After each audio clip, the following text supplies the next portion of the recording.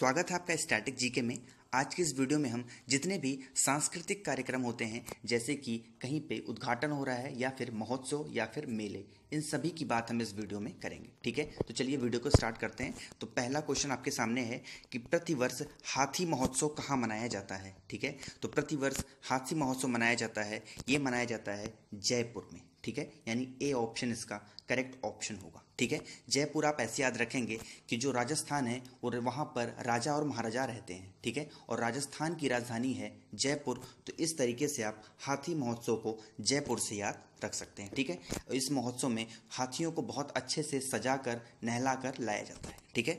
चलिए next question है। तो अगला प्रश्न है, प्रश्न नंबर दो, कि मे दम में फाई किस प्रदेश का त्योहार है, ठीक है? तो मे दम में फाई है असम का त्यौहार, ठीक है? इस त्यौहार में होता क्या है? इसको ताई आहोम जनजाति जो है, इसको मनाती है और इसमें अपने जो पूर्वजों हैं, उनको प्रसाद भी चढ़ाती है और पारंपरिक तरीके से यहाँ पर बलि भी दी जाती है इस त्यौहार में। तो मे दम में फाई असम का जो है एक त्यौहार है, ठीक है? तो ए ऑप्शन इसका करेक्ट ऑप्शन होगा। नेक्स्ट है कि गुरुमुखी डोगरी और सिंधी लिपि की उत्पत्ति किस लिपि से हुई है? देखिए गुरुमुखी भी एक तरह की, की लिपि है। जैसे कि जो पंजाबी भाषा है वो गुरुमुखी लिपि से बनी हुई है। ठीक है? इसी तरीके से कई भाषाएँ हैं जो कि अलग अलग लिपि से बनी हुई हैं। लेकिन वो लिपि किस लिपि से बनी है यही इसमें पूछा है कि गुरुमुखी डोगरी और सिंधी लिपि की उत्पत्ति किस लिपि से हुई है? ठीक है? तो ये हुई है शारदा लिपि से यानी कि बी ऑप्शन हमारा करेक्ट ऑप्शन होगा।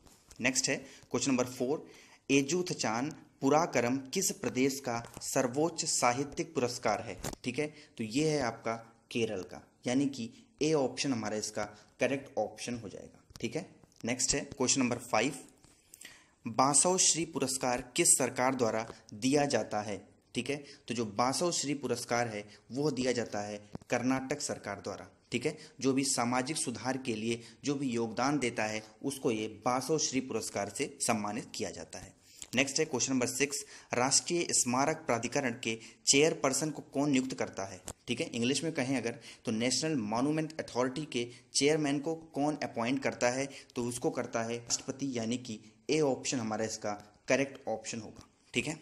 नेक्स्ट है क्वेश्चन नंबर सेवन तोमर राजपूतों द्वारा बनवाया गया किला राज पिथौरा कहाँ पर स्थित है? ठीक है? तो राज पिथौरा स्थित है नई दिल्ली में, यानी सी ऑप्शन आपका करेक्ट ऑप्शन हो जाएगा। प्रश्न नंबर आठ है, चिश्ती सिलसिला एक सूफी सिलसिला है जो चिस्त कस्बे से शुरू हुआ। चिस्त कस्बा कहाँ पर स्थित है? ठीक है? सिंपल सा इसमें यही पूछा है कि चिस्त कस्बा कहाँ पर स्थित है? तो जो आपका चिस्त कस्बा है, ये स्थित है अफ़गानिस्तान में, यानी कि ए ऑप्शन आपका करेक्ट ऑप्शन होगा। ठीक है? नेक्स्ट है क्वेश्चन नंबर नाइन द्वितीय बुद्ध किसे कहा जाता है? यानी कि दूसरा बुद्ध किसे कहा जाता है? ठीक है? तो ये कहा जाता है पदम संभो को। यानी ए ऑप्शन करेक्ट ऑप्शन होगा।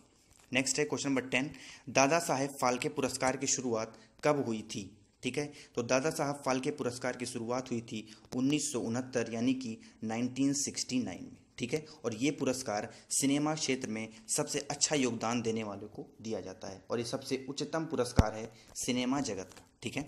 नेक्स्ट है क्वेश्चन नंबर इलेवन हर साल रमज़ान पिछली साल से कितने दिन पहले या फिर कितने दिन बाद होता है? ठीक है? बहुत ही महत्वपूर्ण प्रश्न है, हर किसी को नहीं पता होगा, सिर्फ़ मुस्लिम कास्ट को ही पता हो सकता है। तो ये इसका सही आंसर होगा 11 दिन पहले, ठीक है? यानी ए ऑप्शन इसका करेक्ट ऑप्शन होगा।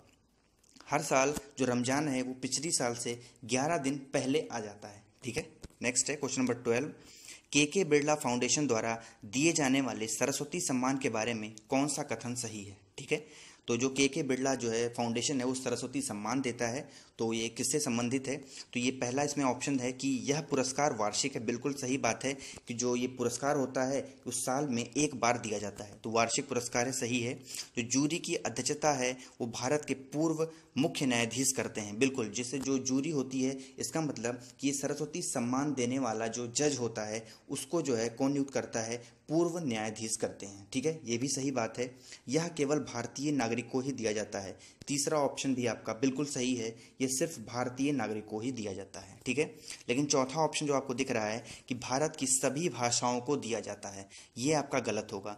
जो भी आपकी आठवीं अनुसूची में कितनी भाषाएँ हैं, बाईस भाषाएँ हैं, इन्हीं बाईस भाषाओं में से किन्हीं एक भाषा को हर साल जो है दिया जाता है ये सरस्वती सम्मान। तो चौथा आपका गलत हो जाएगा, बाकी तीनों आपके सही होंगे तो आपके साथ ये सी ऑप्शन हमारा सही होगा, एक, दो और तीन। ठीक है? सी ऑप्शन आपका करेक्ट ऑप्शन होगा। तेरहवा क्वेश्चन है, जापानी कला इके बाना किससे संबंधित है? तो जो इके बाना है, ये संबंधित है आपका फूलों की सजावट से, यानी ए ऑप्शन आपका करेक्ट ऑप्शन हो जाएगा। ठीक है? अगला प्रश्न है, प्रश्न नंबर चौदह।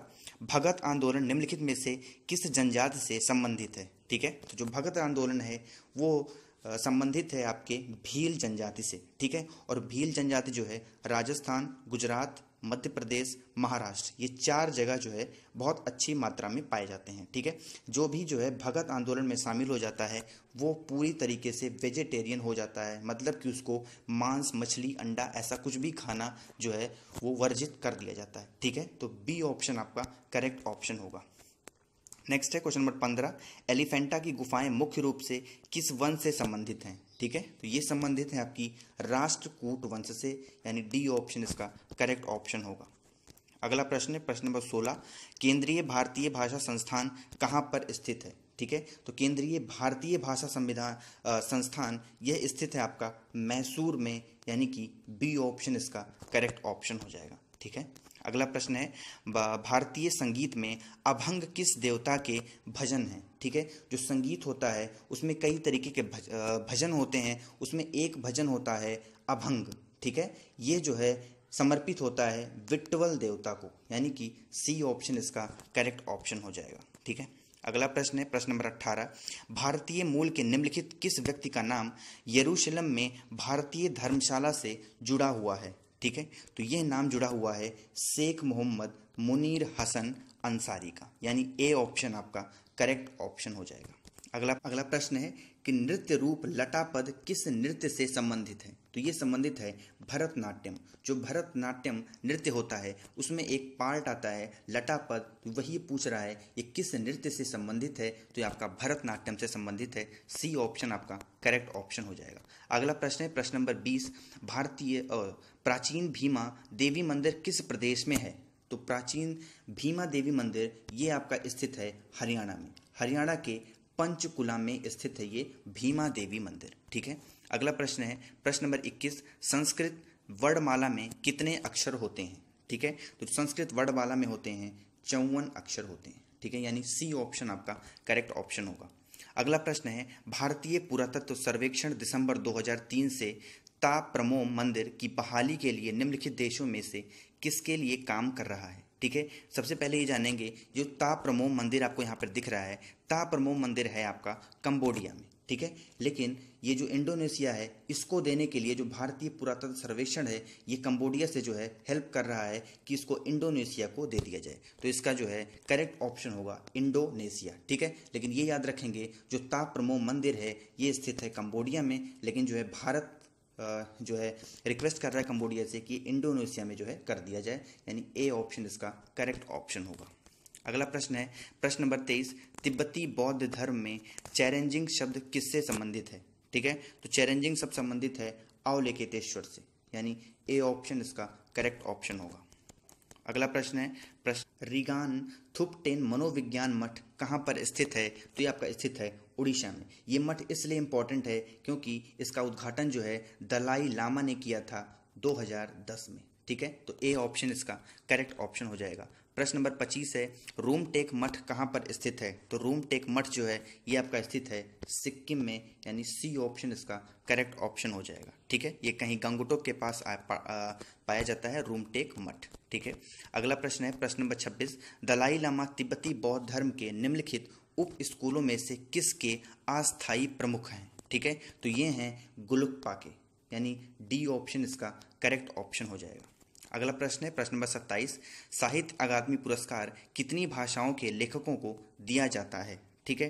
तो यह दिया जाता है चौबीस भाषाओं के लेखकों के लिए, यानी बी ऑप्शन इसका करेक्ट ऑप्शन होगा। अगला प्रश्न है, प्रश्न नंबर अट्ठाईस। निम्नलिखित में से किस सिख गुरु ने सिखों की धार्मिक किताब गुरु ग्रंथ साहिब को निश्चित किया और यह निश्चय किया कि यह पुस्तक शिक्षकों की अस्थायी गुरु होगी? ठीक है? तो यह किया था गुरु गोविंद सिंह ने और गुरु गोविंद सिंह जो है, दसवें सिख गुरु थे और अंतिम सिख गुरु थे सिख समुदाय के। यानी बी ऑप्शन इसका करेक्ट ऑप्शन होगा। प्रश्न नंबर उनतीस है, भारत में किस गायन का गाना सबसे पहले रिकॉर्ड हुआ? ठीक है? तो ये हुआ था गौहर खान का, यानी सी ऑप्शन इसका करेक्ट ऑप्शन होगा। ठीक है? गौहर खान का ही गाना जो था, ये पहली एक ऐसी महिला थी जो है, इनका गाना जो है रिकॉर्ड किया गया था। इनका नाम है गौहर जान। ठीक है? अगला प्रश्न है, प्रश्न नंबर तीस, ज्ञानपीठ पुरस्कार के पहले विजेता किस प्रदेश से थे? ठीक है? तो जो ज्ञानपीठ पुरस्कार है, इसके जो विजेता हैं, ये थे केरल से। यानी ए ऑप्शन इसका करेक्ट ऑप्शन हो जाएगा। ठीक है? ये थे शंकर कुरूप, जिनको 1965 में जो है मलयालम भाषा के लिए ज्ञानपीठ पुरस्कार सम्मानित किया गया था। ठीक है? ये मेरी आज की सीरीज़ आई होप की वीडियो को पसंद आई होगी। वीडियो को पसंद आती वीडियो को आप लाइक शेयर और सब्सक्राइब ज़रूर कर दिया करें। Thank you so much for watching this video